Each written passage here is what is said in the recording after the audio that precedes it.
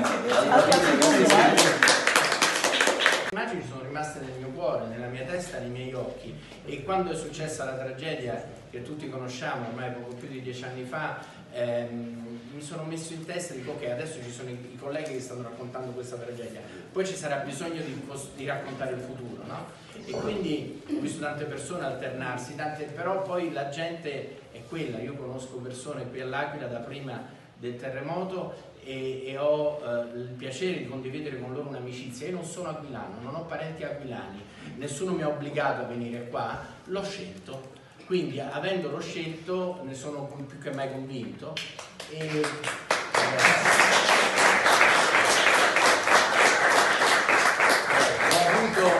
delle persone che mi hanno aiutato a conoscere e a capire questo luogo, un nome per tutti Sonia Fiucci che è qui davanti, che adesso ci aiuta nella produzione ed è lei la colpevole del fatto che la nostra piccola cinecittà sia qui in Abruzzo e, e tra l'altro è sempre occupata di Film Commission e voi non sapete l'importanza di tutto questo. Tra l'altro vi do una piccola chicca, voi non sapete che oggi qui con noi c'è Celestino Quinto perché abbiamo girato le ricostruzioni dove era presente Celestino Quinto, Giacomo se ti alzi, eccolo qui, lui è Celestino Quinto.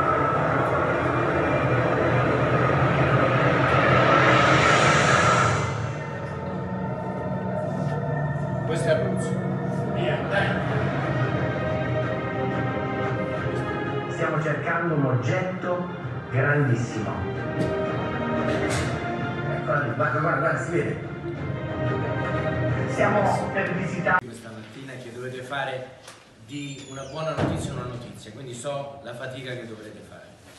Perché stiamo, come sapete, le notizie cattive camminano da sole mi ricordo quando una delle mie figlie, io tenete conto che ho tre figlie femmine, il caso ha voluto che anche mia moglie fosse femmina, e mie, una volta la mia figlia più grande faceva le elementari fa papà perché, ehm, perché eh, io non posso andare nel telegiornale, perché vedeva il telegiornale, vedi amore, se tu domani vai a scuola impazzisci e uccidi tutta la tua classe, tu andrai sicuramente sul telegiornale. Ma se domani tu andrai a scuola e prenderai un bel voto, tu non andrai mai sul telegiornale vuoi andarci o no? Dici no, non ci voglio andare, grazie.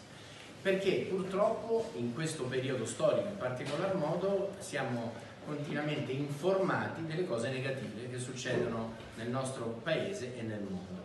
E questo alla fine crea una specie di vortice negativo nella nostra testa, cominciamo a diventare involontariamente pessimisti, cominciamo a vedere nero il futuro. Ma se non lo vedessimo invece positivo e la gente normale lo vede se no non starebbe qui a combattere ogni giorno per lavorare, per allevare figli, per costruire un'azienda, per valorizzare un affetto. Eh, se non facessero questo quelle persone normali non, verrebbe, non varrebbe la pena di andare avanti naturalmente. Mi sono permesso una volta di fare un filmato per istruire o per informare i giovani su tutte le cose che sono nate in Italia.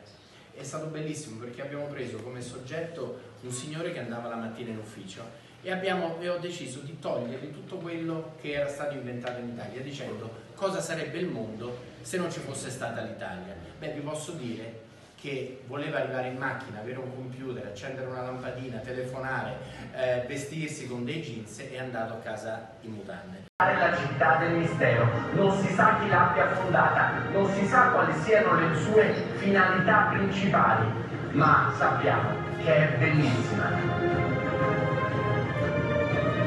la conoscenza è un atto d'amore, è, è la possibilità di essere liberi. Che emozione, che emozione, che bellezza. Stiamo andando verso il castello mai conquistato. Andiamo, andiamo veloci. È arrivato il momento di salire su tutte e tre le piramidi in una sola sera. Wow! È una delle porte più belle che ho mai aperto, veramente. Le nostre telecamere potranno essere i vostri occhi, perché qui è successo qualcosa. Ed eccoci qua, Roma sotterranea, non è solamente buia, stretta, è anche grande, imponente, c'è qualcosa che ci può stupire. Il campanile non potrà mai abbandonare Venezia popolo antico, valoroso, gli Shardana. Che spettacolo! Davanti a noi la fontana dei fiumi del Bernini. Houston, abbiamo un problema. Ah, si sente proprio l'odore dei libri d'altri tempi. Nato a Roberto Giacobbo, ormai è, è un amico di questa città, è una presenza fissa e rappresenta nell'ambito di eh, questa rassegna di bellezze abruzzesi anche un eccezionale testimonial di una città che dimostra, io credo, con l'impegno quotidiano eh, quanto di buono sia stato fatto e quanto di bello abbia. Abbiamo visto i risultati straordinari di questo eh, elemento di promozione territoriale che è l'arrivo del Giro d'Italia, venerdì l'arrivo della tappa è stata vista da milioni di persone, ci sono stati riscontri sia dal punto di vista locale sia dal punto di vista eh, nazionale. Che eh, avere cinque puntate sulle bellezze eh, turistiche ma soprattutto culturali dell'Abruzzo con la sua professionalità credo che sia una cosa sicuramente da sfruttare. Ma come sto cercando di dire, noi siamo rimasti un po' fermi in questi anni, abbiamo, dobbiamo recuperare, per cui il prossimo anno stiamo lavorando su una programmazione eh, turistica, su una programmazione turistica culturale, su una programmazione turistica enogastronomica, insieme con il mio collega eh, Imprudente, che sicuramente è un passaggio importante e fondamentale per il nostro Abruzzo.